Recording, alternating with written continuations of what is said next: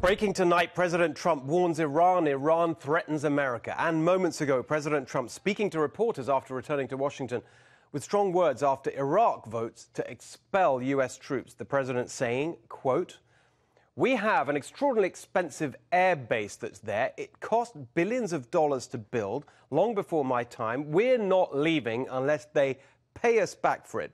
If they do ask us to leave, if we don't do it in a very friendly basis, we will charge them sanctions like they've never seen before, ever. It'll make Iranian sanctions look somewhat tame. I think we can all agree classic Trump there. Next quote. So, with Iraq, we've spent a lot of money in Iraq. I told you Iraq was the worst decision. Going into the Middle East was the worst decision ever made in the history of our country. Iraq, by the way, they didn't knock down the World Trade Center. That's been very nicely proven. But we went in and we're there and we're pulling out, pulling out of a lot of different areas. With Syria, I pulled out because I'm not going to guard his border. Why should I be guarding the border? They've got troops, let them guard. That border's been under siege for thousands of years. They've been fighting on that border. More in that vein from me later on, as you will see. We've got this and more covered for you with the latest news and the smartest analysis. In a moment, we'll go to former Marine and Intelligence Officer Congressman Mike Gallagher. There he is. Plus, here with me for the hour, Jason Chaffetz, Tomi Lahren, and Katrina Pearson. How good is that? All right, Happy New Year, everyone, and welcome to the next revolution. I'm Steve Hilton, and this is the home of positive populism pro worker, pro family, pro community, and of course, pro America. Also in the show tonight, more good news on the economy, more embarrassment for Joe Biden, and in Loony Left, we bring you the strange death of the reasonable Democrat. How even the so called moderates in the presidential race are way to the left of anything we've seen before. But first, I want to lay out for you how I see the issues with this whole Iran situation. Over the past few days, we've heard a lot of superficial, simplistic, and self serving grandstanding from the usual suspects. Trump hating Democrats and their stooges in the ruling class state media have made complete fools of themselves with wildly inconsistent positions. Apart from one thing, of course, whatever Trump does is, by definition, wrong. One of their favorite talking points for days was that President Trump's action was unconstitutional, illegal, blah, blah, blah. Well, that argument was destroyed this morning by President Obama's Homeland Security Secretary, Jeh Johnson. If you believe everything that our government is saying about General Soleimani, he was a lawful military objective. Mm-hmm. And uh, the president, under his constitutional authority as commander in chief, had ample domestic legal authority to, to take him out without an additional congressional authorization.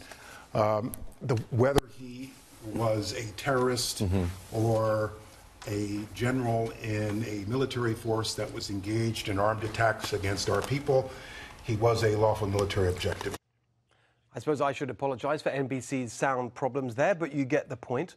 But the award for most humiliating idiocy of the week probably goes to Democrat Senator Chris Murphy, who on Tuesday, after the U.S. Embassy in Baghdad was attacked, but before the Soleimani strike, said that President Trump had, quote, rendered America impotent, just hoping bad guys go away. But when that actually happened, when one of the bad guys, indeed one of the worst guys in the world, did in fact go away, as a direct result of President Trump's action, Murphy criticized it, literally complaining about the fact that Soleimani had been taken out. He wasn't the only one. Ever since Donald Trump won the election, his opponents have lost their minds and with it any ability to make a coherent argument. If Trump's for it, they're against it. Just look at their policy pirouettes on the Middle East, all of it driven by anti Trump hate. When he pulled back from the Middle East, it was a disaster. Trump has broken America's solemn promise to those who sacrificed so much on our behalf. I'm tired of Trump wrapping himself in the flag in the morning, then abandoning our troops and our values by the afternoon. I would not have withdrawn the troops, and I would not have drawn the additional thousand troops who are in Iraq. Yesterday on the floor, 354 members voted in a bipartisan way to oppose the president's dangerous decision uh, in regard to Syria. Right. Got that? Getting out is dangerous, so dangerous. But wait, so is going in. The President's decision may add to an already dangerous and difficult situation in the Middle East. We're going to end up in an escalation, a military escalation around the world. We appear to be, without, by the way, I'd say without congressional authorization, entering into another Middle East war. They have taken a step that moves us closer to war, a step that puts everyone at risk. They have no coherent position. They have no strategy. They just have more of what they gave us when they held the White House appeasement, weakness, and establishment predictability. Exactly what kept us in these endless, costly, stupid wars. But we've also seen simplistic, knee jerk nonsense from the isolation nuts. What's Trump doing? He promised to get us out of wars, not into them. We shouldn't be intervening abroad. Focus on our problems back home. You know the script. It's easy enough to luxuriate in simplistic ideology and superficial slogans. But in the real world, an American president can't just disengage from the world for the very obvious reason that what happens in other countries can affect us here. That's why we care about trade deals, for example. They affect us here at home. And yes, that's why we care about projecting military power abroad. The question is not whether we should intervene internationally, but how. America first doesn't mean America alone, nor does it mean America stays at home. It means America's policies, domestic and foreign, should be determined by what's best for the American people. And the isolation nuts don't seem to understand that. They take a stand against any international action, even when it is in America's interest. Next, they'll want us out of the Olympics because it's a foreign competition. And speaking of international competition, the other bunch of usual suspects who've pooped off against the Soleimani strike are the Europeans. The British, the Germans, and the French have all expressed their grave concerns and are calling for restraint. You bet they are. They're still trying to revive the rotten corpse of the Iran nuclear deal, which funneled billions of dollars directly to Qasem Soleimani to fund terror and mayhem throughout the Middle East. The British are now in a panic over their energy imports, sending Navy ships to guard tankers in the Gulf. But that's because they've allowed themselves to become dependent on energy imports. And unbelievably, despite estimates that fracking could help the UK towards energy independence, the British government has just banned it. And that neatly brings us to the real story here. As we reported a few weeks ago, for the first time in history, thanks to President Trump's pro enterprise agenda, America has just become a net exporter of oil and gas. The truth is that oil has been the driving force for the West's involvement in the Middle East for over a century. It drove British imperialism, then American imperialism, and the inevitable resentments that followed. Driven by the energy imperative, the West has tried to remake and reshape the Middle East, creating nothing but a costly, bloody, disastrous mess. Along the way, the establishment in Washington has cashed in with some of the most obscene corruption of the modern era. Vice President Dick Cheney pushing a catastrophic invasion that put billions of dollars into the pockets of his former company, Halliburton.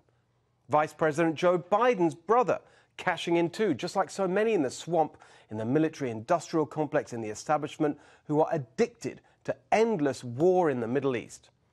Now we see the same geniuses in the swamp, think tanks and institutes for strategic whatever, gravely expressing their concerns about how President Trump's actions will hamper the prospects for Middle East peace or the fight against ISIS or some other illusory goal.